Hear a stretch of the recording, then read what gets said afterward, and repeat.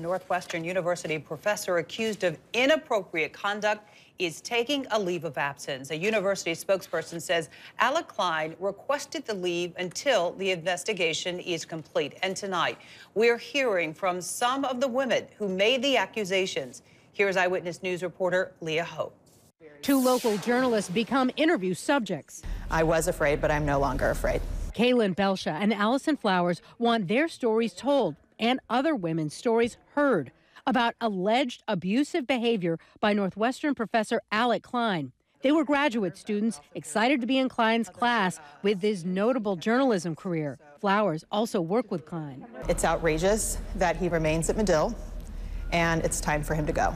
Northwestern University alleges a new investigation after 10 women wrote a letter accusing Klein of being inappropriate with female students and staff. Some of the allegations included sexually suggestive conduct. They allege the university knew about complaints against Klein but didn't take action. This is someone that we've heard time and time and time again has had inappropriate conduct with students, either bullying, harassing them, or in some cases touching them inappropriately. Kaylin Belsha recalls an uncomfortable story she says Klein shared when only the two of them were alone in his office. He told me a story about how one time he really wanted to kiss this woman, and he got up really close to me and started telling me about how he wanted to kiss this woman, and instead he gave her a Hershey's kiss.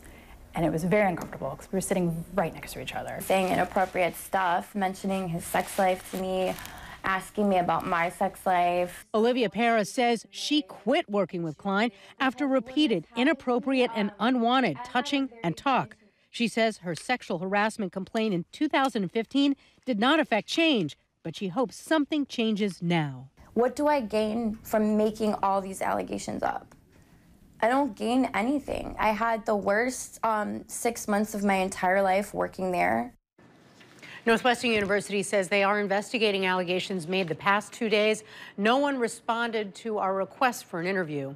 But these women who wrote the letter say they have also heard from 14 more women with allegations against Klein. For now, he is on leave. And what really motivated these women to come forward the Me Too movement, of course, but also they heard that there were students who were avoiding taking investigative journalism and they want there to be future journalists. So this is what really prompted them to come forward.